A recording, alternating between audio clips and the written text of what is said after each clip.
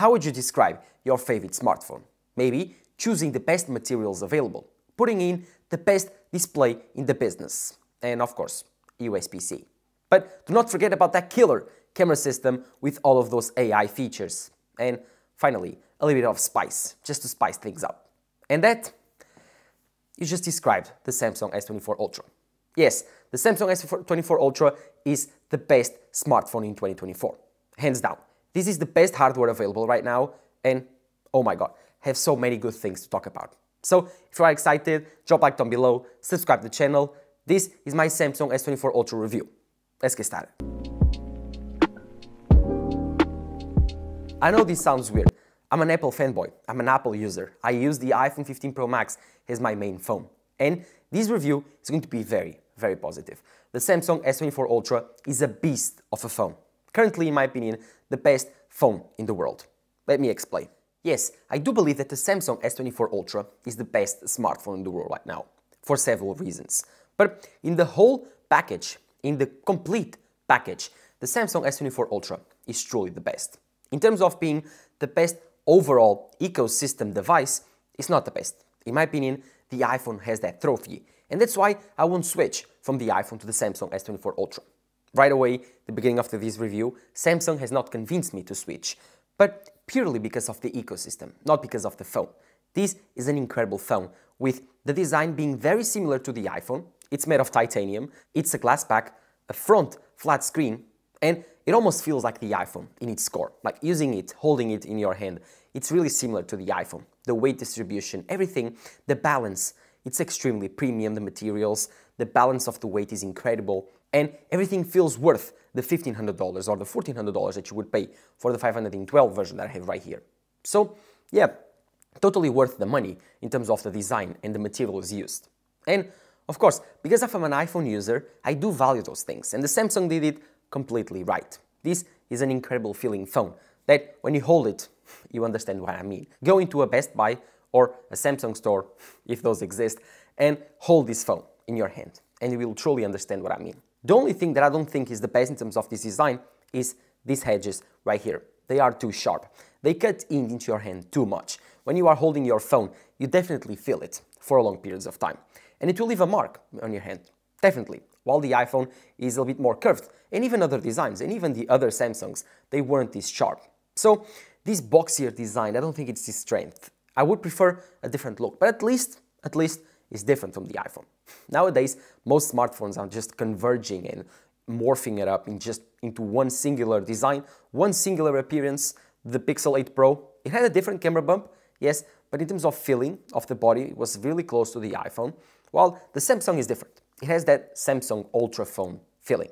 Although it's not my favorite, and it's probably one of my biggest gripes with this phone, I don't mind it, and it feels extremely premium.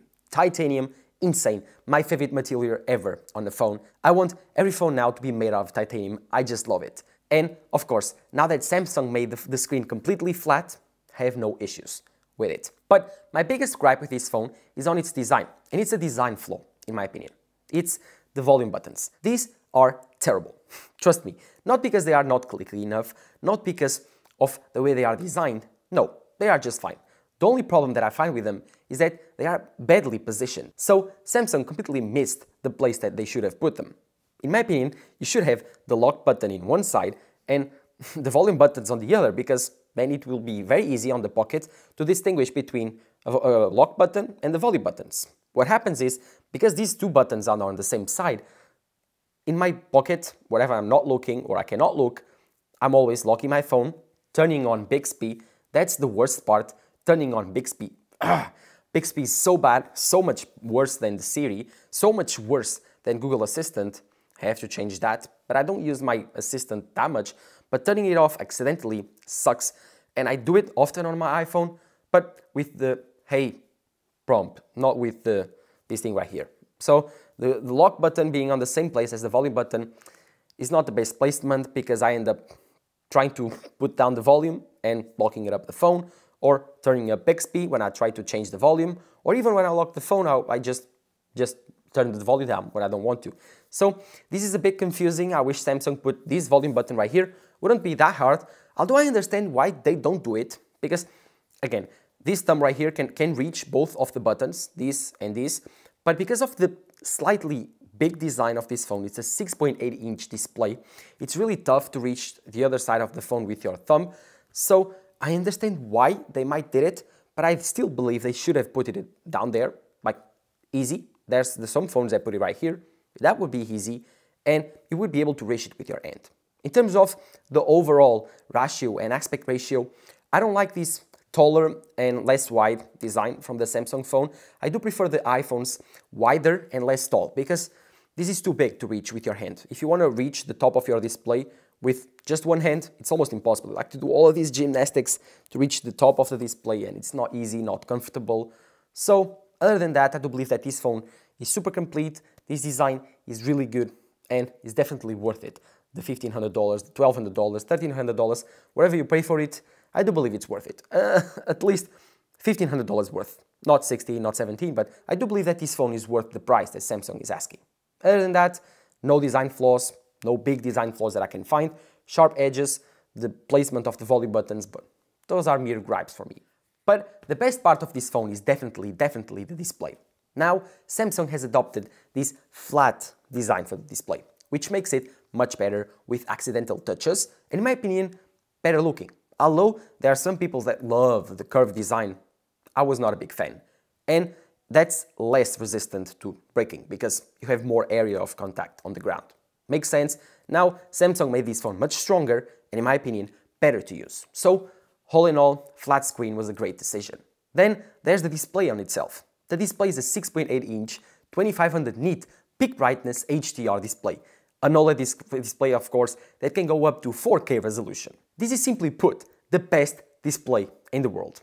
And it makes sense because Samsung produces all of the displays out there, produces the iPhone displays, produces other Android phones displays, so it makes sense that they kept the best displays from themselves.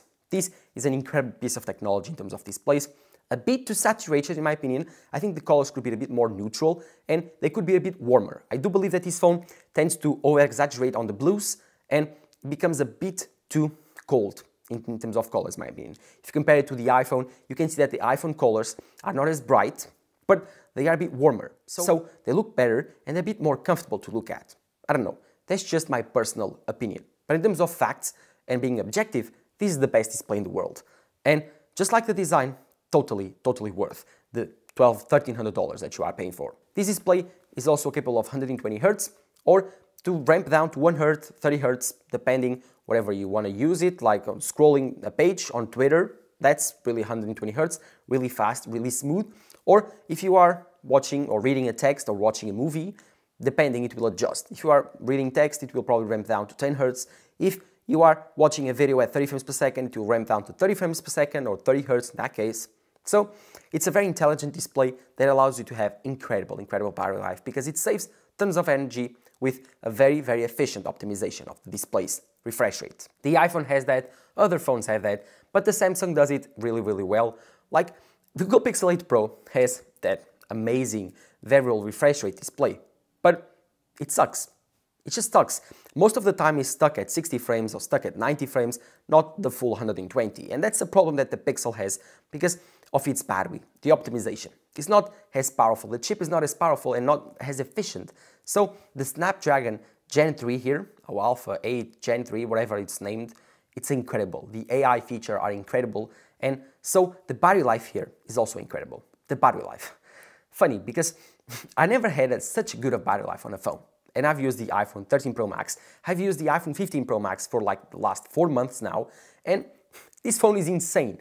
The most that I could spend on this phone was like 50% in one day. So it's surely, surely a two-day phone for you. And it's an insane time because I was downloading uh, Epic Games Fortnite and it lasted like five hours or four hours downloading that video game on a screen on time, always the screen on, and I spent like 30%. Burning through juice, this phone sips juice. It's insane how power efficient it is. Then, of course, it's a bit less power efficient if you are playing games or if you are doing very intensive stuff like, I don't know, running benchmarks. In that case, then it will drain a bit faster, but I never felt this phone hot. I never felt this phone in an efficient state. No, it's just super efficient. Oh, and it has a huge battery, a 4500 or 4800 milliampere sized battery, which is huge. This phone is definitely a two-day phone for you. And then, then there's another upside for this phone, and that's the fast charging. This phone supports 45 watt fast charging, something that most phones do have, but the iPhone doesn't have. And that's something that you actually value when you are in a hurry. You need to charge up or top up really quickly and just do it on your Samsung. No, it isn't good for your battery, but once in a while, it actually is a nice feature. Although 45 watt is not as the fastest in the business, no, there's faster charging phones like the Oppo, like the OnePlus, I do believe that the Samsung phone just do it fast enough. 45 watts, good enough, and it doesn't completely destroy and wreck your battery health in the long run. So I do believe that's a very important feature because Samsung has promised 7 years of support to the Samsung S24 Ultra and S24 family. So 7 years of support, we are now in 2024, 7 years of support, that's 2031. That's insane. that's insane support, guys. Like, if, if Samsung delivers, this is going to be a huge thing. As for the other phones, Android phones, you pay less, but you get way less support security updates, software updates, Android updates. You can count them with three fingers, all of those. Well, the iPhone does a great job. Apple always does a great job with that, so I don't worry about the iPhone software updates. Six, seven years. More than that, you just want to upgrade your device. It becomes old, becomes very slow, and probably the storage and the RAM are just outdated at that point. So, yeah, seven years of support for the Samsung, that's just crazy. And all of this is just possible because of that amazing, amazing chip. But the biggest news is not the power, nor the efficiency of this Snapdragon chip, which for the first time in a while is faster than the A17 Pro chip. But that's not the main point about this Snapdragon chip. No, it's actually the AI features. That's something that I was like, that's a completely a gimmick. That's a gimmick that no one will use, right? Wrong. I was totally wrong. In the first three days that I've used these AI features, I'm hooked, especially the Google Circle feature. To search things up on Google, just circle things up. This is the best thing that Samsung has invented in the last 10 years. I know it's not just Samsung and the Google Pixel 8 Pro will have this feature and in the iPhone in the next year or so will add up this feature. But I'm so hooked with this. I see a new pair of shoes in the wild, I just take a photo, I circle them, I can buy them on Amazon or other stores. I see an iPhone, I see a house, I see someone famous that I don't know the name, just take the picture, circle it up on the phone, done, can search it up. This is so great. And even on a YouTube video, even on a web page, even on Instagram, Snapchat, Twitter, whatever you want to search, just make a circle on top of it on your screen. That's it. Google will tell you what it is. This is an evolution of Google Lens and it's so good. I cannot go back to something that does not have this. Please, Apple, make it fast, add it fast. This is so, so good. As for the other AI features, they are good. You can summarize notes, you can translate things. Those are very basic stuff. One thing that is pretty cool is the AI editor on your Samsung Gallery. That's pretty cool. Almost very similar to the Google Pixel 8 Pro Magic Editor tool. Really simple. You select stuff, you can delete them, you can remove them from pictures, you can move them side to side, change their position on the photo, and then after that, you will get this AI pop-up on the bottom left corner telling you that this is the AI modified image. So pretty nice, giving you a watermark to let you know this is an AI modified image. You can also generate wallpapers, which is refreshing because some phones, especially with the iPhone, I get bored of the wallpaper. I need to go online and search cool wallpapers for the iPhone and then download some random wallpaper. While this one can generate different wallpapers and you won't get bored. As simple as that. Cameras. They seem to be the main focus of every smartphone these days. And if you think about it, it actually makes tons of sense. If you think about it, the main improvements that you saw in the last three years on smartphones have been on the camera side. And maybe because of the rest of the phone is extremely mature, the displays, the design, the, the ports, everything else is extremely mature and very, very much the same. But the cameras is somewhere where you see good improvements every single year. Is it on the zoom? On the video side, the photo side, this megapixel count on the sensor, the size of the sensor, every single of these factors evolve each generation. And the Samsung S24 Ultra is no different. It has better cameras than the Samsung S23 Ultra. But here's something that you are probably not expecting. The Samsung S24 Ultra features a worse, not being factually, but a subjectively worse camera than the Samsung S23 Ultra, if your main focus is zooming. Because this phone replaced the 10x telephoto camera on the Samsung S23 Ultra with a 5x but 50 megapixel telephoto camera on this phone. Just like the iPhone 15 Pro Max now, the Samsung S23 Ultra features a 5x telephoto. So you're probably thinking, why? Why did Samsung do that? Why did they replace a 10x telephoto if their main focus of the camera system is the zooming capabilities? Well, easy. They put a 50 megapixel telephoto. So what that means is you can crop in on that telephoto like two times, three times without losing that much quality. So you can create a 20x optical zoom without losing that much of a quality, just like Apple does it with the 2x button on the iPhone. So a 48 megapixel sensor crops in into a 24 megapixel shot, while this 50 megapixel sensor can crop in into a 12 megapixel shot, and then that would be the optical zoom. Further than that, it's a digital zoom and so losing quality. Hence, for the 10X on the Samsung S23 Ultra, it was a 12 megapixel, so it wasn't as good as this 50 megapixel. But if you compare them side to side, I did not review the Samsung S23 Ultra, but I did review the Samsung S22 Ultra. And the differences are really, really small. Maybe I saw other reviewers and the photos looked a bit different. I don't know. But if, the, if you notice any difference, they are really small. But why did they do that? Why did they sacrifice the 10x telephoto for a 5x telephoto? Simple, because now you have a better zoom range. From 3x to 5x, it's a digital crop. So from 3 to 5, because you have the 3x telephoto here, instead of the iPhone's only 5x telephoto, you have 3x here. And you have the 3x and you have the 5x. So the zoom range that is digital is from 3x to 5x. I've explained this in other videos, and especially when I compare smartphone cameras against my mirrorless cameras. When you have a zoom lens on a mirrorless camera, from for example 18 to 105, this zoom range, this focal length, is covered with non-digital crop. So it's an optical crop, it's an optical zoom. You don't lose any quality. While with the smartphone lenses, you do, because they are prime lenses, they are not zoom lenses. They cannot change their aperture, their length, to create an effect of more focal length. No, they just are prime lenses. And so between the 5x, 3x, the 1x and the 0.6x on this S24 Ultra, this is all digital crop. So Samsung tried to reduce as much the digital crop as possible. Before, the difference was between 3x and 10x, and all of the zoom range between these two was a digital crop. It wasn't that great. While with the S24 Ultra, that problem is fixed. The only digital crop is between the 3 and 5x.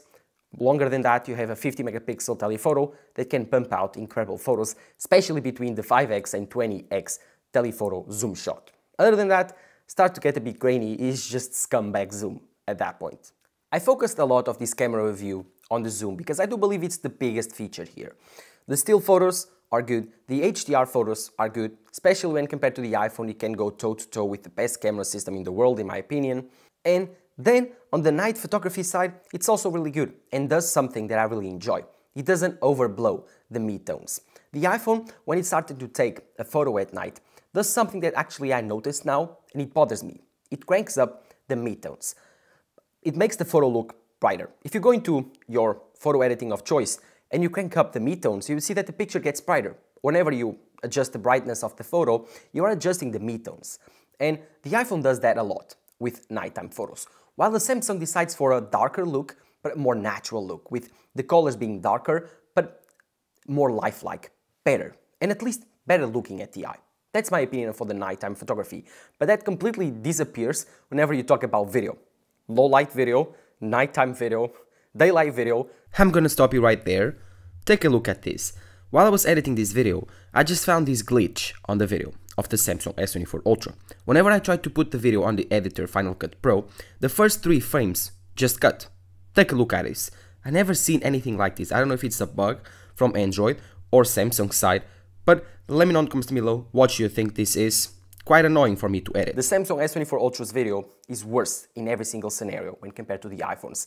And so here's the biggest catch with the Samsung S24 Ultra. If you do value social media, if you do value video, and especially do value sharing video on social media, then the iPhone is the only choice because developers they focus a lot on their apps for iOS and so the Android apps of these same developers, Instagram, YouTube, Facebook, Snapchat, the photos and the stories will never look as good as they were took on their phone. That's why the iPhone beats all of these devices and the Samsung S24 Ultra 2 sharing photos and videos on social media. So if you value that a lot, I'm sorry, but the iPhone is a much, much better option. While if you don't really care about that, this is still a great camera system. I don't think this is the best camera system in the world. Although I do still believe that this is the best phone in the world, I don't think this is the best camera system in the world. The iPhone has a better camera because it has a better video camera and a better photo camera overall. This has more features, this has that scumbag zoom. The iPhone has better still photos, although at night I do prefer the Samsung and especially the video. The video gap is so big, so big in terms of quality that the iPhone's camera just has to win. And so the Samsung at the end of the day has a great, great camera system, but it's not the best in the world. As for the rest, it's still incredible. And this phone is all about the hardware, not just the software. Although the software has been getting better and better and better, Samsung has been working with Google to make this a better integration, you can still notice a lot of struggle between these two devices. You have two different apps for everything. You have a Samsung Gallery, Google Photos, you have your browser from Samsung and Google Chrome, you have so much bloat and all the problems that come with Android. I don't like Android in and out of itself.